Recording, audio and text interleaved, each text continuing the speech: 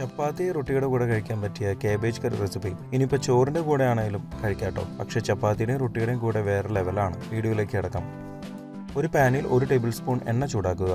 അതിലേക്ക് രണ്ട് ടീസ്പൂൺ മല്ലി. മല്ലി പൊടിച്ചതല്ല കേട്ടോ മൂന്ന് വറ്റൽ മുളക് അര ടീസ്പൂൺ ജീരകം. കാൽ ടീസ്പൂൺ പെരിഞ്ജീരകം. ഒരു ടീസ്പൂൺ കുരുമുളക്. ഒരു ടീസ്പൂൺ തുവരപ്പരിപ്പ് ചേർത്ത് ഒരു മിനിറ്റ് ചൂടാക്കുക.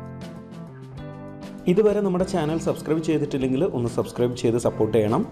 പുതിയ വീഡിയോയുടെ നോട്ടിഫിക്കേഷൻ അപ്പോൾ തന്നെ ലഭിക്കുന്നതിന് ബെൽ ബട്ടൺ കൂടി ഇനേബിൾ ചെയ്യുമല്ലോ. ഇനി ഇതിലേക്ക് അര കപ്പ് തേങ്ങ ചിരുകിയത് ചേർത്ത് നന്നായി ഇളക്കി രണ്ട് മിനിറ്റ് നേരം ലോ ഫ്ലെയിമിൽ ചൂടാക്കുക. ചൂട് മാറിയതിന് ശേഷം ഒരു ഗ്രൈൻഡറിലിട്ട് കുറച്ച് വെള്ളം ചേർത്ത് ഒരു പേസ്റ്റ് രൂപത്തിൽ അരച്ചെടുക്കുക. പിന്നീടുള്ള ഉപയോഗത്തിന് മാറ്റിവെക്കാം. ഒരു കുക്കറിൽ ഒരു ടേബിൾ സ്പൂൺ എണ്ണ എടുത്ത് ചൂടാക്കുക.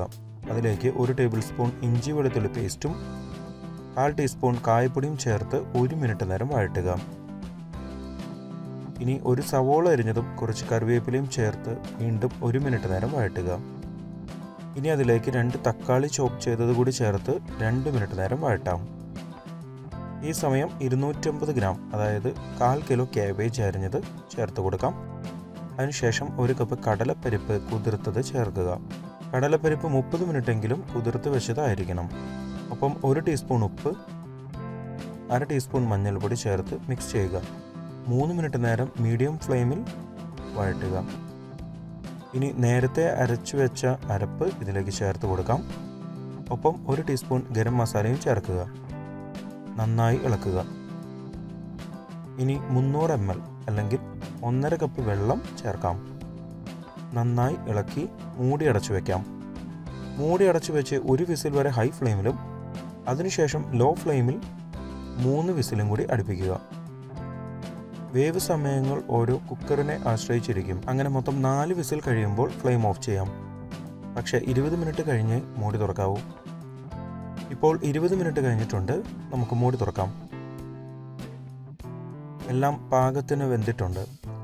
വീണ്ടും ഫ്ലെയിം ഓൺ ചെയ്യുക. രണ്ട് ടേബിൾ സ്പൂൺ മല്ലിയില ചേർത്തിളക്കി രണ്ട് മിനിറ്റ് നേരം ചൂടാക്കുക. ഇനി നമുക്ക് ഫ്ലെയിം ഓഫ് ചെയ്യാം. നമ്മുടെ ചപ്പാത്തി സ്പെഷ്യൽ കാബേജ് ഗ്രേവി കറി റെഡി. സ്കിപ്പ് ചെയ്യുന്നതിന് മുമ്പ് ചാനൽ ആദ്യമായി കാണുന്നവരാണെങ്കിൽ ഒന്ന് സബ്സ്ക്രൈബ് ചെയ്യാൻ മറക്കരുത്.